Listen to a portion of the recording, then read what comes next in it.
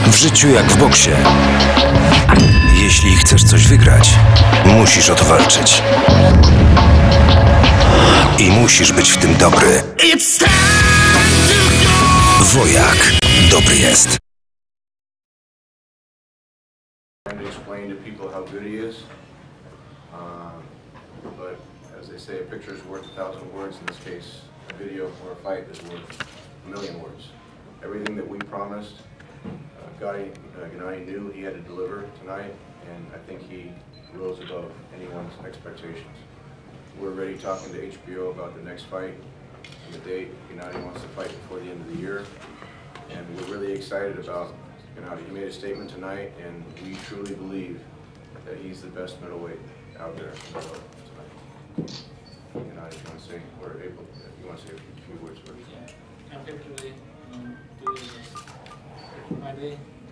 my first, my first fight in America in HBO. Thank you so much, HBO. I'm happy. Um, I'm ready. I stay here.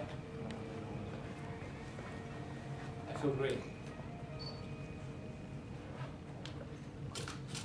Yeah, thank you very much to K two also for uh, making uh, not only Gennady's dream come true, but uh, my dream come true to have this level fighter. Uh, I think that uh, it's important that he stays busy now. He is thirty years old.